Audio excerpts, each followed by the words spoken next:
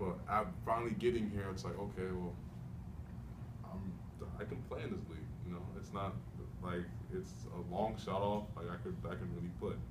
Did you meet Bill Walton? Uh, I did. I did. I did. He's a character.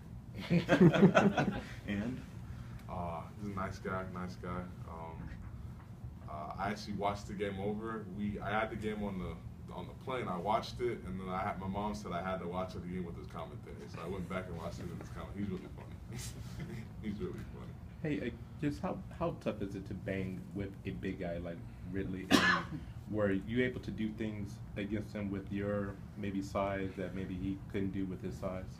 Um, really was a man, that was a big dude, big guy, long arms, blocking shots, changing shots at the rim. Um, I mean, I say, I mean, I guess I was a bit quicker than him. That's that's one of the biggest things. I was a bit quicker than him, and um, but I mean, he still changed a lot of shots at the rim. Uh, I mean, relatively. I'm used to. I like banging. Football was my first love before basketball, so I, I like to hit people, so like I like banging down low. I, I I love doing it. It's fun to do, and uh, so really, not really. I don't think so.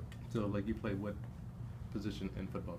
Uh, defensive end and tight end, Okay. kicker and punter. Kicker and punting. So you played until when? Uh, after my ninth grade year, I uh, I quit. Um, How how like how old were you like at that time? probably like six five, two sixty six. And you just quit because Uh, I switched schools, and the school I went to, they hadn't won like a game in a couple years, and I wasn't. I won't care. I can't lose like that. So I was like, good. My mom was happy too. My mom was ecstatic.